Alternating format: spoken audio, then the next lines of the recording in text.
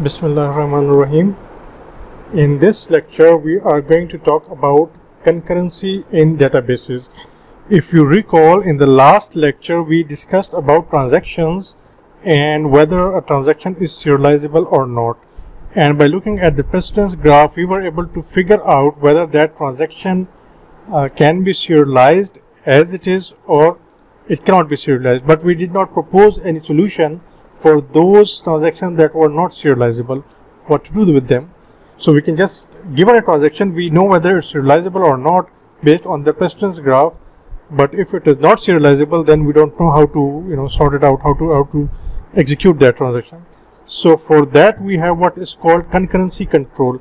So concurrency control basically means that you have different transactions and you're trying to control how these transactions can be executed simultaneously.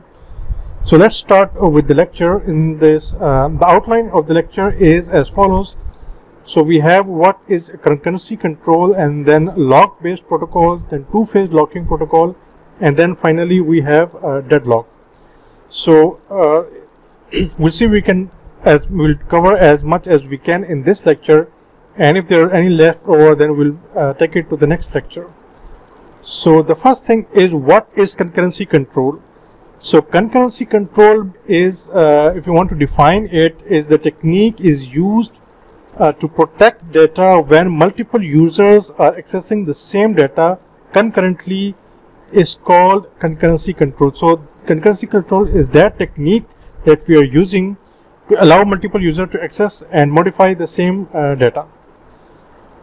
What's the purpose of concurrency control? It's to enforce isolation. When we say isolation, we are talking about isolating transaction it means one transaction is executing at a time in isolation which means that other transactions are not uh, allowed to modify whatever uh, this given transaction is trying to access in the database.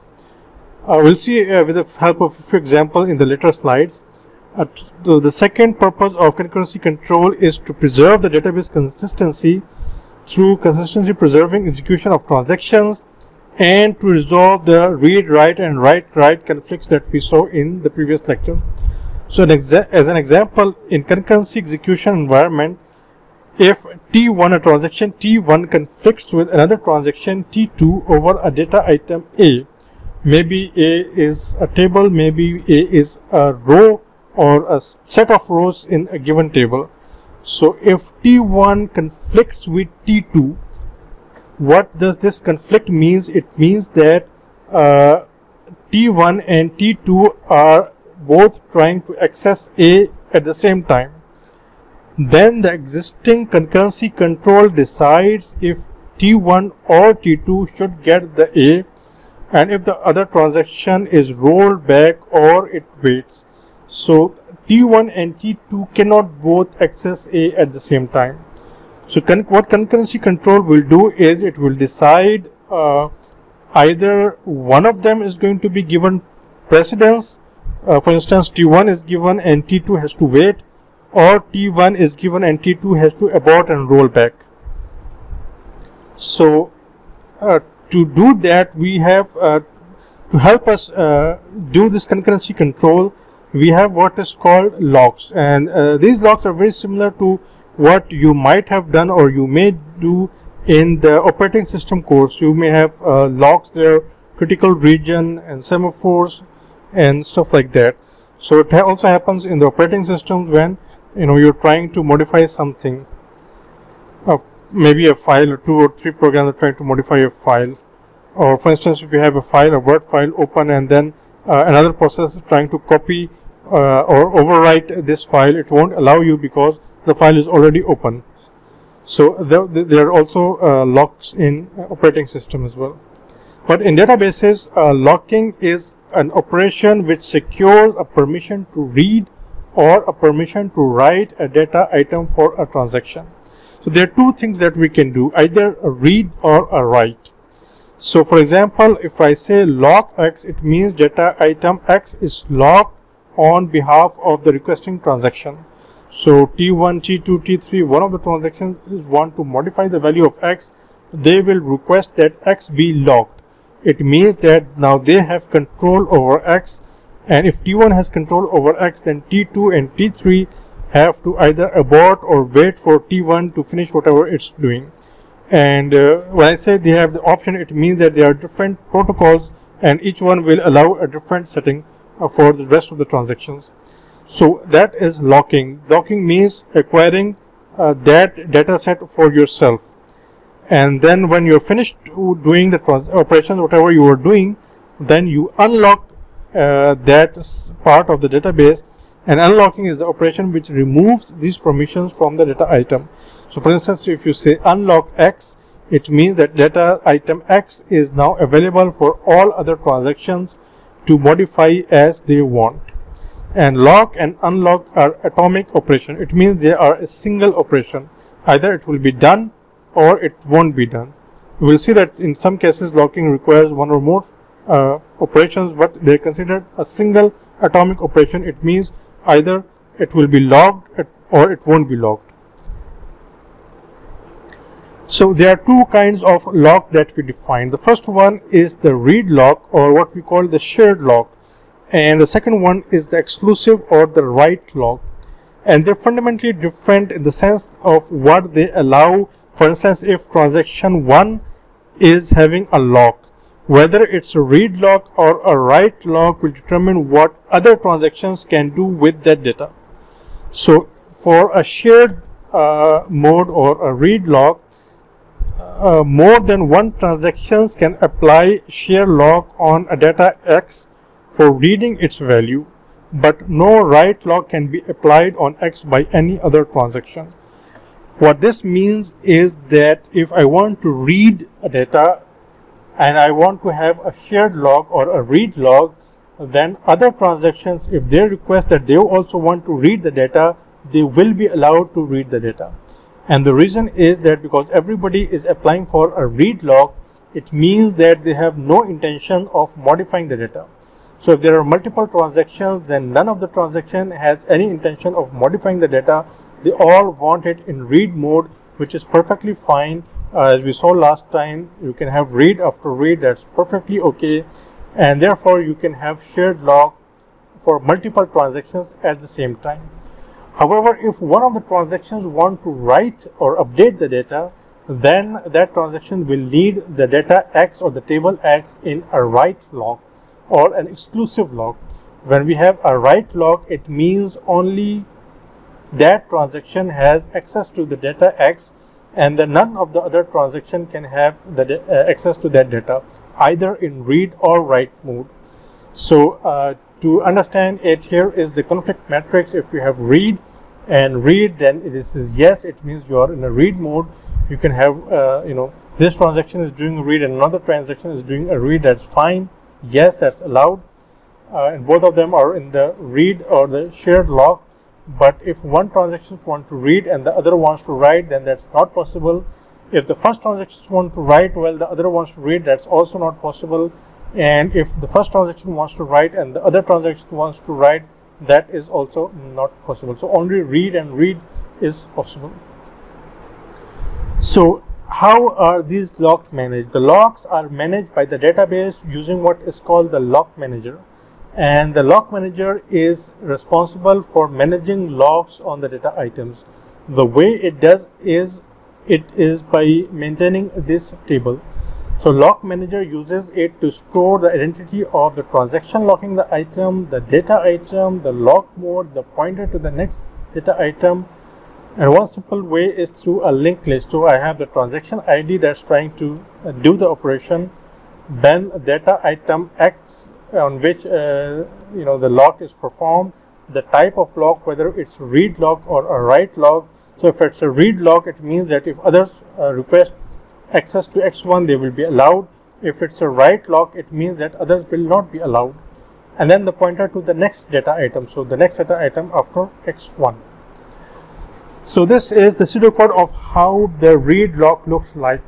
So if the you know you're going to try if lock of x equal to unlock. So you, if a transaction wants to lock x, then it will have to go through this uh, pseudocode. So if lock of x was unlocked, it means that this x uh, repeated that x can be a table it can be a row or a set of rows.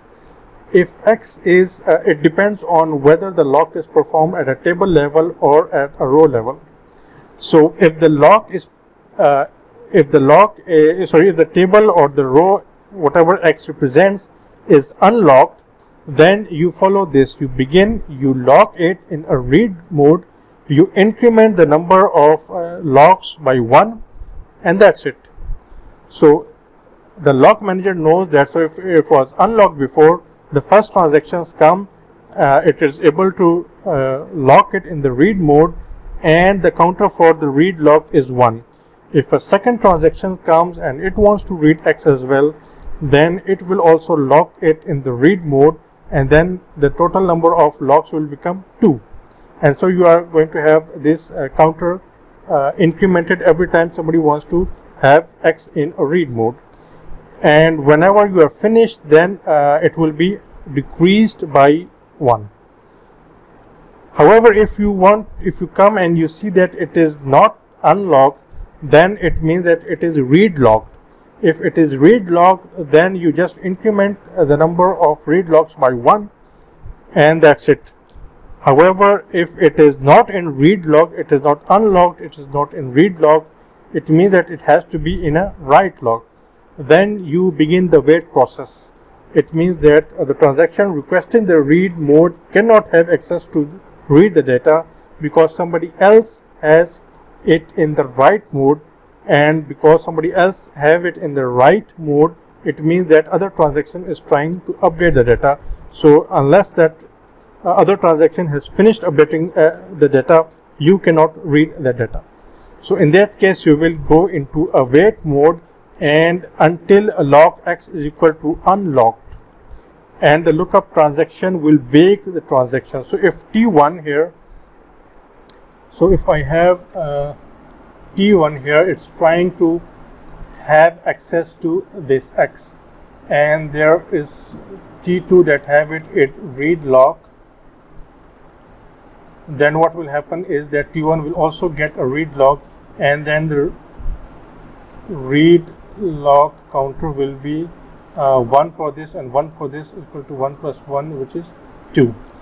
However, if uh, somebody else has it in a write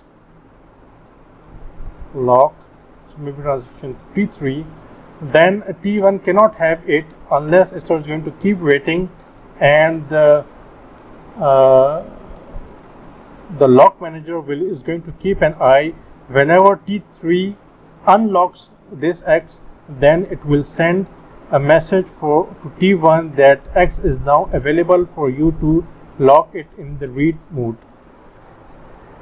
So that is what uh, this part is uh, this pseudocode is telling us.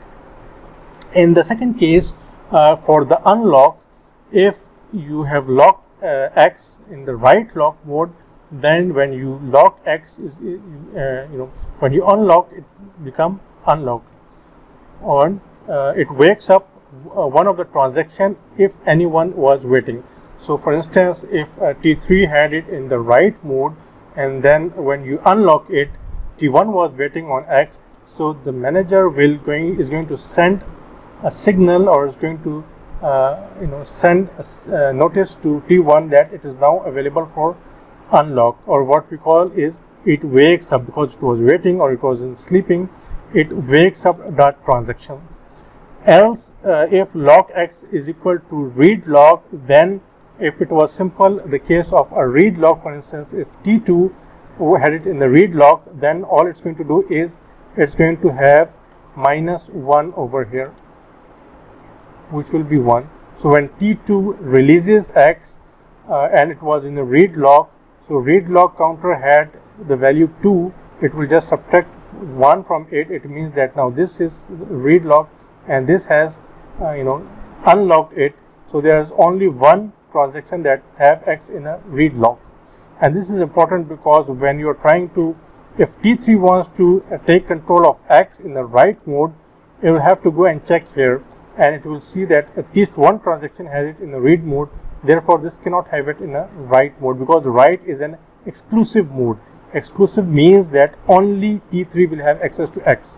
Whereas if, if we have a counter here which says 1, it means that the first transaction already have access to X and therefore T3 cannot have it in the write mode. Uh, sorry. So if it is uh, read lock, then you uh, you know subtract one from it, and if it becomes zero, then you write it as unlocked.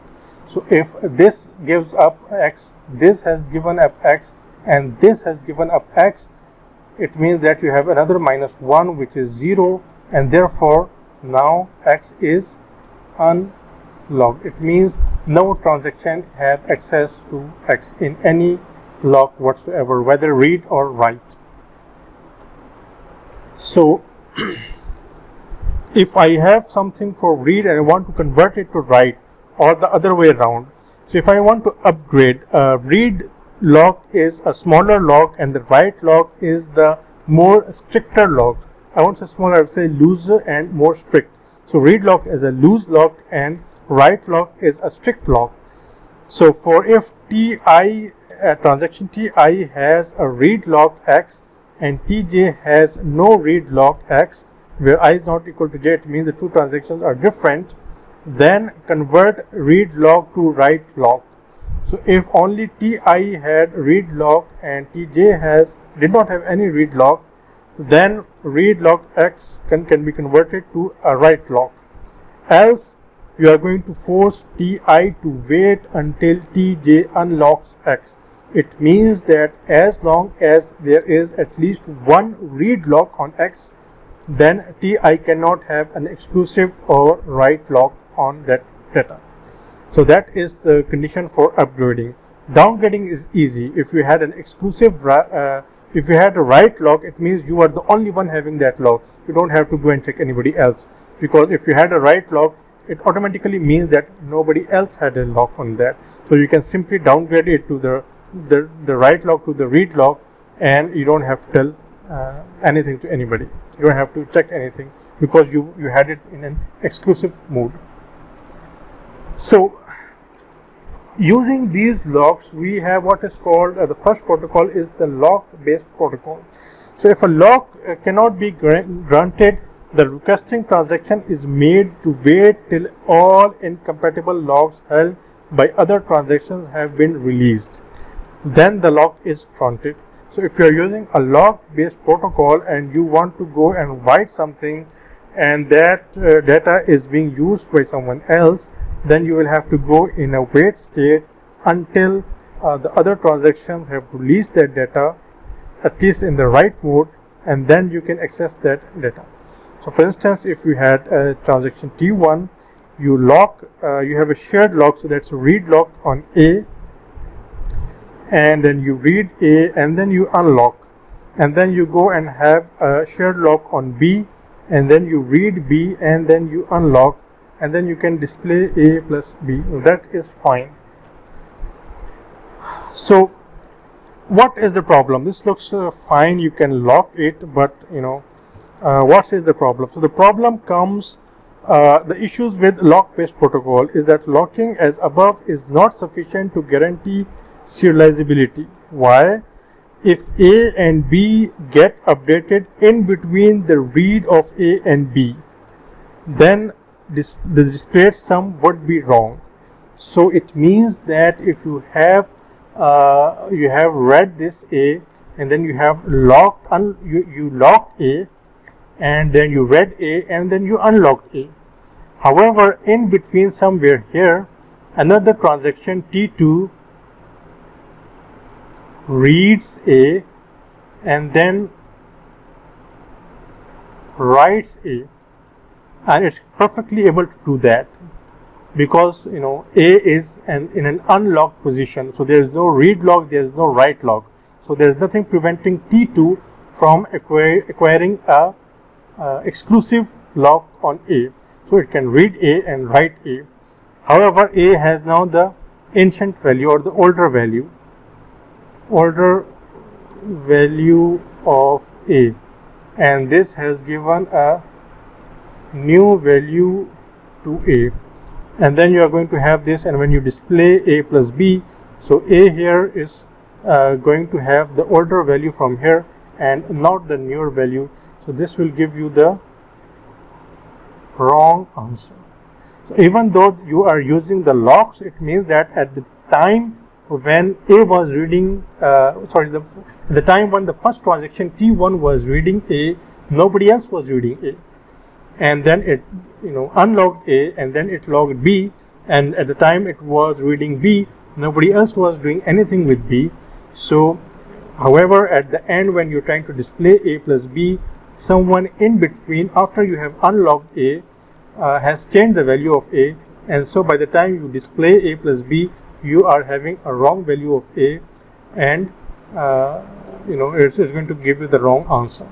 So for that reason you say that uh, there are issues with the lock based protocol. So a locking protocol is a set of rules based on all transactions while requesting and releasing locks. Locking protocol restrict the set of possible schedules that you can have. So for instance, if you look at this, so if you have an exclusive lock on B and then you read B and you change uh, the value of B and then you write B and then you lock have you have a shared lock here and uh, of A and then you read A and then you lock uh, shared lock on B and this is trying to have a lock on A so neither T3 nor T4 can make any progress.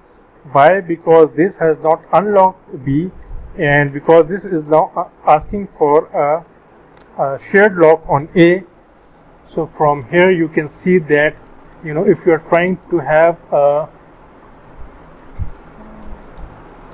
so if you're trying to have a read lock and uh, it is already locked then what you do is else you begin the wait process. So you're waiting for that other transaction to release it so that you can have your own lock. In this case, however, uh, this transaction T3 has access to B. So transaction T4 will be waiting for T3 to release uh, B here, uh, not this one, but uh, this one. So it will be waiting for transaction T3 to release B and because it's waiting uh, you know it's it's going to go into sleep mode and then every now and then it's checking whether uh, B has been released or not. The transaction T3 on the other hand is trying to you know before it commits is trying to have an exclusive lock on A. However, T4 has a read lock on A. Because there's a read lock and we saw that you cannot have read and write at the same time. Only read and read is possible but read and write or write and read or write and write uh, the three combinations are not possible. Therefore this is going to wait for T4 to release A and T4 is not going to release because it's waiting for T3 to release B. So they are both waiting for one another. So neither T3 nor T4 can make progress. Executing lock uh, the shared lock B causes T4 to wait for T3 to release its lock on B while executing exclusive lock A causes T3 to wait for T4 to release its lock on A. Such a situation is called a deadlock and to handle a deadlock one of them has to roll back and release the locks. So this is a big issue with the lock based protocol. And uh, so this one is the deadlock condition and the other one is the starvation condition. And in the starvation condition is also possible if concurrency control manager is badly designed. So if your manager is badly designed, for instance, a transaction may be waiting for an exclusive lock on an item while a sequence of other transaction request and are granted a shared lock on the item. So transaction T1 is waiting to write on dataset A.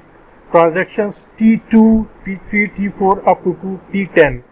They are one after the other having a shared lock on A and then T1 is just waiting for them to finish and uh, you know uh, they are they just keep uh, you know reading their data and T1 never gets a chance to get its exclusive uh, lock so it's not a deadlock because all the other operations are being executed but T1 is waiting and it's waiting indefinitely.